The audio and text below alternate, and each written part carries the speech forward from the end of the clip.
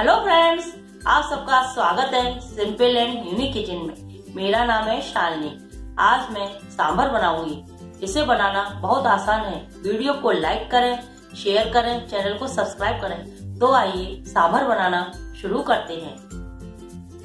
इसे बनाने के लिए सबसे पहले हमने तीन घंटे भीगी हुई अरहर की दाल ली है। हमने दाल को लिया था, इसे साफ़ करके तीन घंटे भिगो लिया है।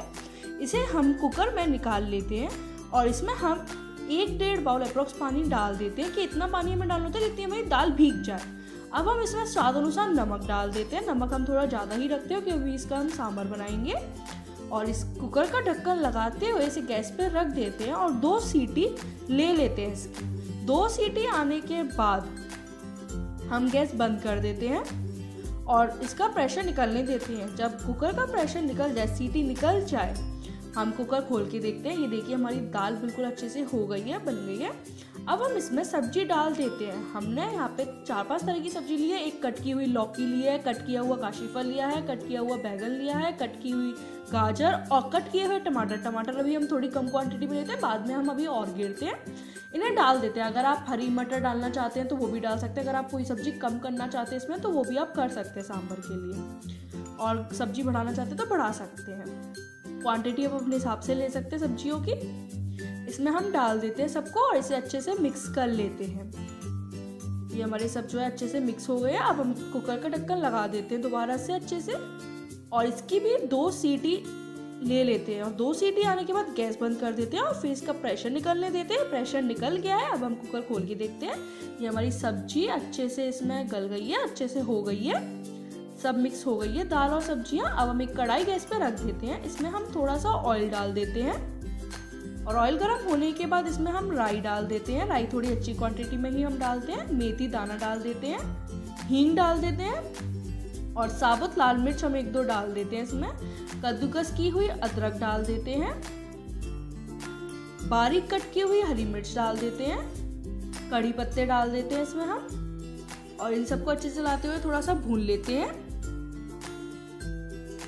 ये सबको अच्छे से चला लेते हैं। अब हम इसमें हल्दी पाउडर डाल देते हैं। और हल्दी पाउडर को भी इसमें अच्छे से मिक्स कर लेते हैं। टमाटर का पेस्ट हमने ये बना लिया था, ये डाल देते हैं। टमाटर को अच्छे से पीस के रख लिया था हमने। ये इसमें डाल देते हैं। और टमाटर को भी हल्का भून लेते हैं। इसमें अब हम कश्मीरी लाल मिर्च पाउडर डाल देते हैं। और इन सबको अच्छे से मिक्स करते हुए हल्का सा भून लेते हैं हम अच्छे से। सांभर इस तरीके से बनाने में बहुत टेस्टी लगता है और बहुत ही ज़्यादा स्वादिष्ट लगता है। जैसे ये हल्का बॉयल होने लगा है। अब हम इसमें सांभर मसाला डाल देते हैं। ये सांभर मसाला भी हमने घर पे बनाया है। ये बाज़ार में भी आसानी से मिल जाता है। और इसकी रेसिपी भी मैं जल्दी अपलोड करूँगी अपने चैनल पर सांभर मसाला की रेसिपी आप देख भी सकते हैं उसे। इसे भी अच्छे से भून लेते हैं। अब हमने ये इमली का पेस्ट लिया हमने सूखी इमली को 15 से 20 मिनट गुनगुने पानी में भिगाया था। फिर इसको हमने अच्छे से पीस लिया है इसकी इमली को जो है अच्छे से पीस के इसका पेस्ट बना लिया है।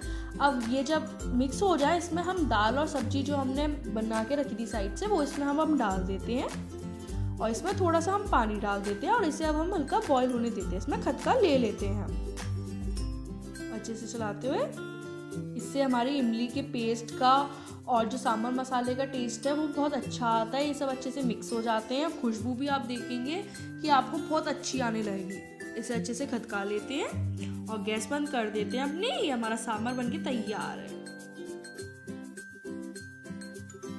उम्मीद करती हूँ सांभर पसंद आया होगा। अपनी राय नीचे कमेंट्स में लिखें। वीडियो को लाइक करें शेयर करें चैनल को सब्सक्राइब करें। सब्सक्राइब करने के लिए इस बटन को प्रेस करें। धन्यवाद।